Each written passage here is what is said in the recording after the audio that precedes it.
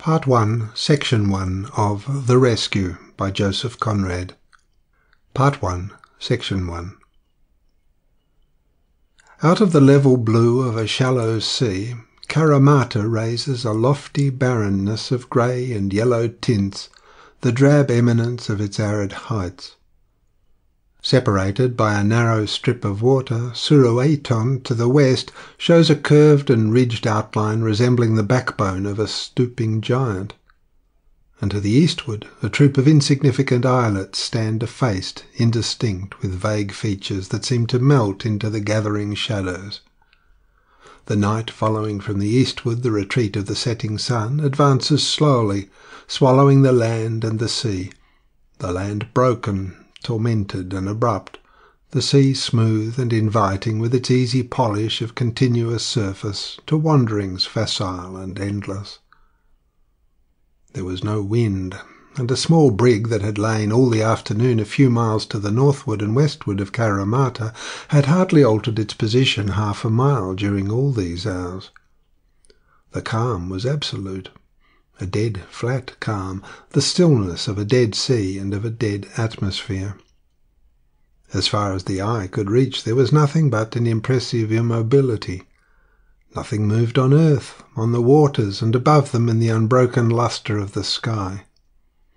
On the unruffled surface of the straits, the brig floated tranquil and upright, as if bolted solidly, keel to keel, with its own image reflected in the unframed and immense mirror of the sea.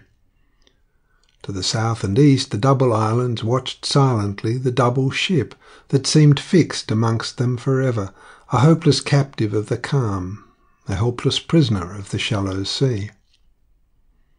Since midday, when the light and capricious airs of these seas had abandoned the little brig to its lingering fate, her head had swung slowly to the westward, and the end of her slender and polished jib boom, projecting boldly beyond the graceful curve of the bow, pointed at the setting sun like a spear poised high in the hand of an enemy. Right aft by the wheel the Malay quartermaster stood with his bare brown feet firmly planted on the wheel grating and holding the spokes at right angles, in a solid grasp, as though the ship had been running before a gale. He stood there perfectly motionless, as if petrified, but ready to tend the helm as soon as fate would permit the brig to gather way through the oily sea. The only other human being then visible on the brig's deck was the person in charge, a white man of low stature, thick set, with shaven cheeks, a grizzled moustache, and a face tinted a scarlet hue by the burning suns and by the sharp salt breezes of the seas. He had thrown off his light jacket, and clad only in white trousers and a thin cotton singlet, with his stout arms crossed on his breast, upon which they showed like two thick lumps of raw flesh, he prowled about from side to side of the half poop.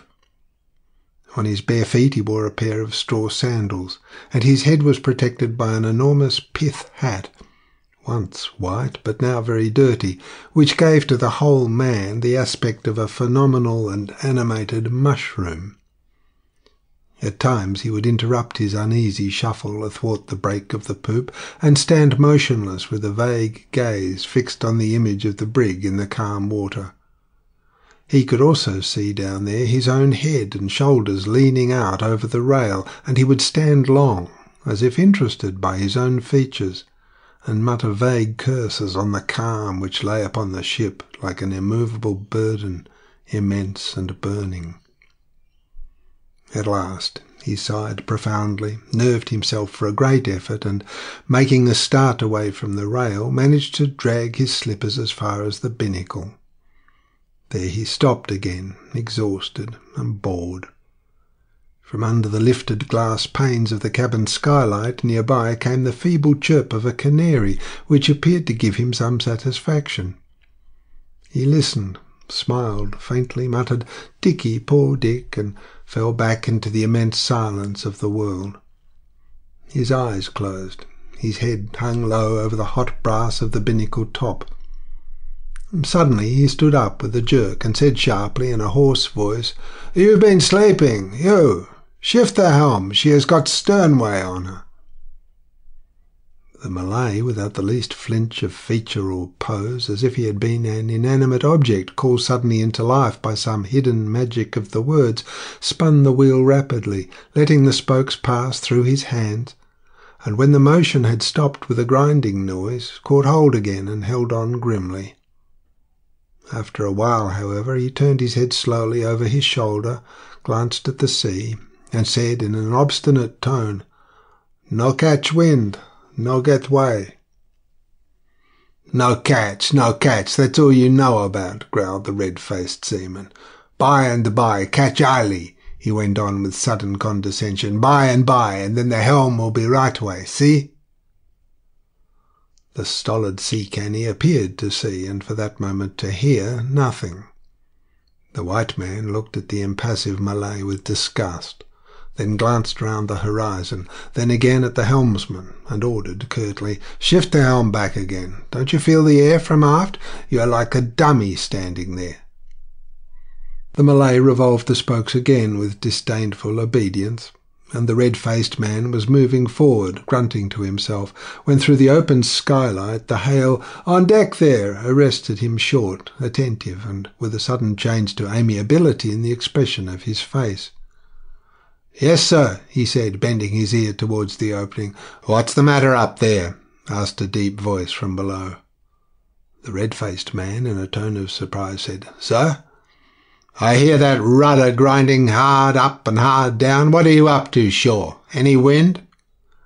Mm, yes, drawled Shaw, putting his head down the skylight and speaking into the gloom of the cabin. I thought there was a light air, and mm, but it's gone now. Not a breath anywhere under the heavens.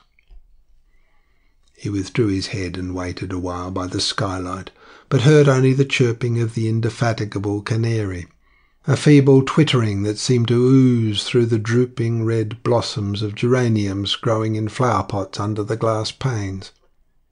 He strolled away a step or two before the voice from down below called hurriedly, Hey, Shaw, are you there? Yes, Captain Lingard, he answered, stepping back. Have we drifted anything this afternoon? Not an inch, sir, not an inch. We might as well have been at anchor. It's always so, said the invisible Lingard. His voice changed its tone as he moved in the cabin, and directly afterwards burst out with a clear intonation while his head appeared above the side of the cabin entrance. Always so. The currents don't begin till it's dark, when a man can't see against what confounded thing he is being drifted, and then the breeze will come. Dead on end, too, I don't doubt. Shaw moved his shoulders slightly. The Malay at the wheel, after making a dive to see the time by the cabin clock through the skylight, rang a double stroke on the small bell aft. Directly forward on the main deck a shrill whistle arose, long drawn, modulated, dying away softly. The master of the brig stepped out of the companion upon the deck of his vessel, glanced aloft at the yards laid dead square, then from the doorstep took a long lingering look round the horizon. He was about thirty-five, erect and supple. He moved freely, more like a man accustomed to stride over plains and hills than like one who from his earliest youth had been used to counteract by sudden swayings of his body the rise and roll of cramped decks of small craft tossed by the caprice of angry or playful seas.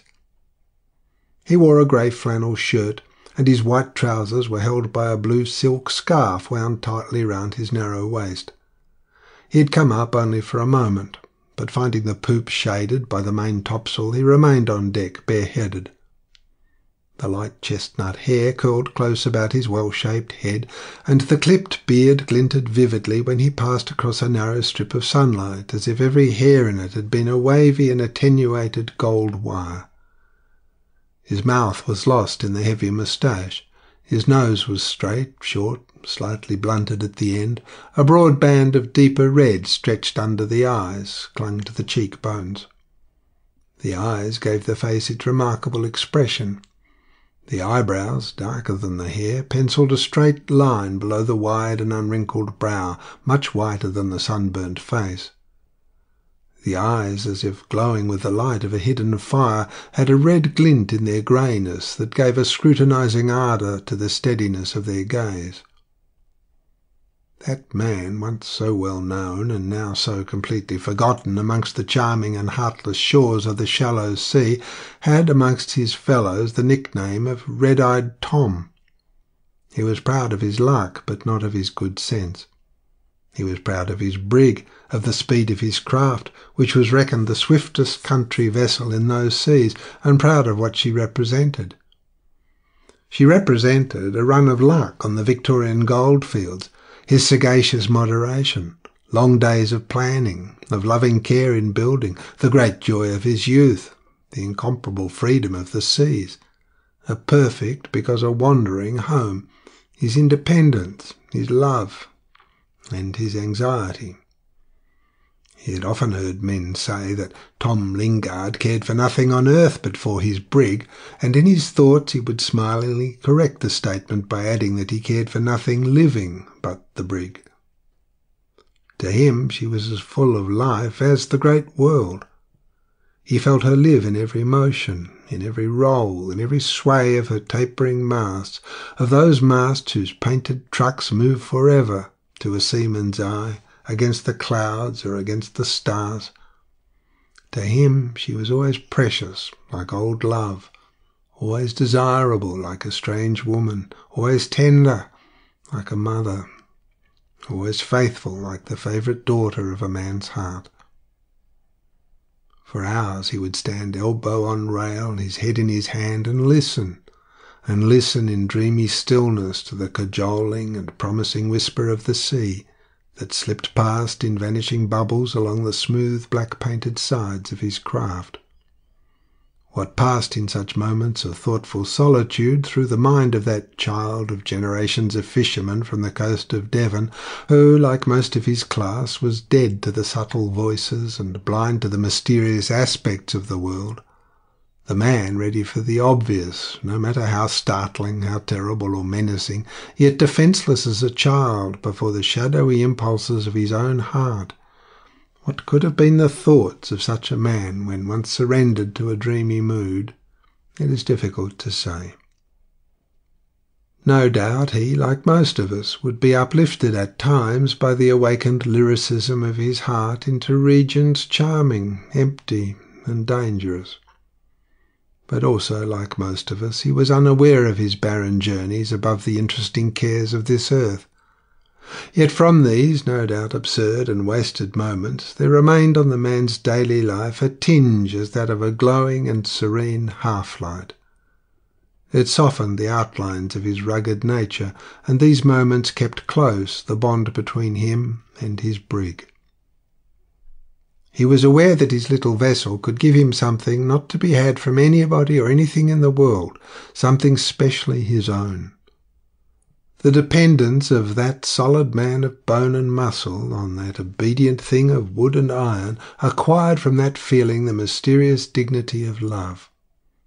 She, the craft, had all the qualities of a living thing speed, obedience, trustworthiness, endurance, beauty, capacity to do and to suffer, all but life.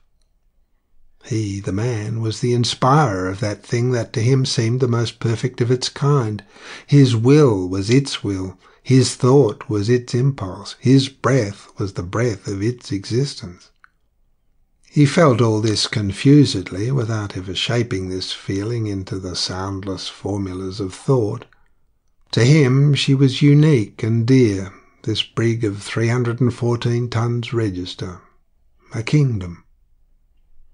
And now, bareheaded and burly, he walked the deck of his kingdom with a regular stride. He stepped out from the hip, swinging his arms with the free motion of a man starting out for a fifteen-mile walk into open country, yet at every twelfth stride he had to turn about sharply and pace back the distance to the taffrail. Shaw, with his hands stuck in his waistband, had hooked himself with both elbows to the rail and gazed apparently at the deck between his feet. In reality, he was contemplating a little house with a tiny front garden, lost in a maze of riverside streets in the East End of London.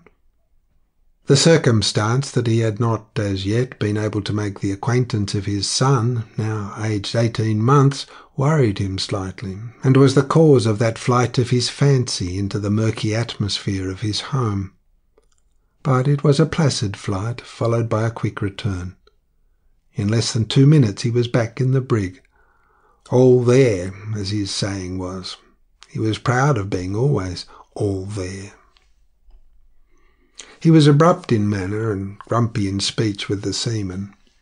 To his successive captains he was outwardly as deferential as he knew how, and as a rule inwardly hostile. So very few seemed to him of the all there kind.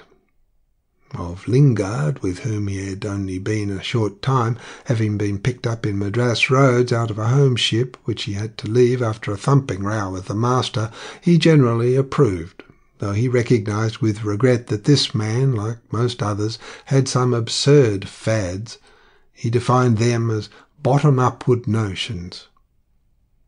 He was a man, as there were many, of no particular value to anybody but himself, and of no account but as the chief mate of the brig, and the only white man on board of her besides the captain.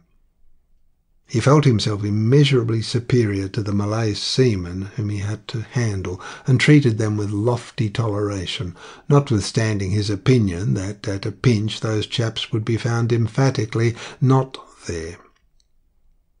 As soon as his mind came back from his home leave, he detached himself from the rail and, walking forwards, stood by the break of the poop, looking along the port side of the main deck. Lingard, on his own side, stopped in his walk and also gazed absent-mindedly before him. In the waist of the brig, in the narrow spars that were lashed on each side of the hatchway, he could see a group of men squatting in a circle round a wooden tray piled up with rice which stood on the just swept deck. The dark-faced, soft-eyed, silent men, squatting on their hams, fed decorously with an earnestness that did not exclude reserve. Of the lot, only one or two wore sarongs, the others having submitted, at least at sea, to the indignity of European trousers. Only two sat on the spars. One, a man with a childlike, light yellow face, smiling with fatuous imbecility under the wisps of straight, coarse hair dyed a mahogany tint, was the tindal of the crew, a kind of boatswain's or serang's mate. The other, sitting beside him on the booms, was a man nearly black, not much bigger than a large ape, and wearing on his wrinkled face that look of comical truculence which is often characteristic of men from the southwestern coast of Sumatra. This was the kassab or storekeeper, the holder of a position of dignity and ease. The kassab was the only one of the crew taking their evening meal who noticed the presence on deck of their commander. He muttered something to the tindal, who directly cocked his old hat on one side, which senseless action invested him with an altogether foolish appearance. The others heard, but went on somnolently feeding with spidery movements of their lean arms. The sun was no more than a degree or so above the horizon, and from the heated surface of the waters a slight low mist began to rise, a mist thin, invisible to the human eye, yet strong enough to change the sun into a mere glowing red disk, a disk vertical and hot, rolling down to the edge of the horizontal and cold-looking disk of the shining sea. Then the edges touched, and the circular expanse of water took on suddenly a tint, sombre like a frown, deep like a brooding meditation of evil. The falling sun seemed to be arrested for a moment in his descent by the sleeping waters, while from it to the motionless brig shot out on the polished deck and dark surface of the sea a track of light, straight and shining, resplendent and direct, a path of gold and crimson and purple, a path that seemed to lead dazzling and terrible from the earth straight into heaven through the portals of a glorious death. It faded slowly. The sea vanquished the light. At last only a vestige of the sun remained, far off, like a red spark floating on the water. It lingered, and all at once, without warning, went out as if extinguished by a treacherous hand. Gone, cried Lingard, who had watched intently, yet missed the last moment. Gone. Look at the cabin clock, Shaw. Nearly right, I think, sir. Three minutes past six. The helmsman struck four bells sharply. Another barefooted seacunny glided on the far side of the poop to relieve the wheel, and the serang of the brig came up the ladder to take charge of the deck from Shaw. He came up to the compass and stood waiting silently. The course is south by east when you get the wind, serang, said Shaw distinctly. South by east, repeated the elderly Malay with grave earnestness.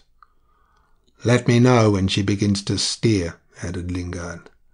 Ya tuan, answered the man, glancing rapidly at the sky. Wind coming, he muttered. I think so too, whispered Lingard, as if to himself. The shadows were gathering rapidly round the brig. A mulatto put his head out of the companion and called out, Ready, sir. Let's get a mouthful of something to eat, Shaw, said Lingard. I say, just take a look around before coming down. It'll be dark when we come up again. Certainly, sir, said Shaw, taking up a long glass and putting it to his eyes. Blessed thing, he went on in snatches while he worked the tubes in and out. I can't, never, somehow. Ah, I've got it right at last. He revolved slowly on his heels, keeping the end of the tube on the skyline. Then he shut the instrument with a click and said decisively, Nothing in sight, sir. He followed his captain down below, rubbing his hands cheerfully. For a good while there was no sound on the poop of the brig.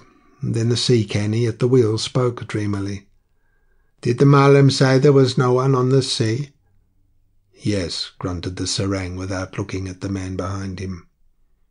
Between the islands there was a boat, pronounced the man very softly. The serang, his hands behind his back, his feet slightly apart, stood very straight and stiff by the side of the compass stand. His face, now hardly visible, was as inexpressive as the door of a safe.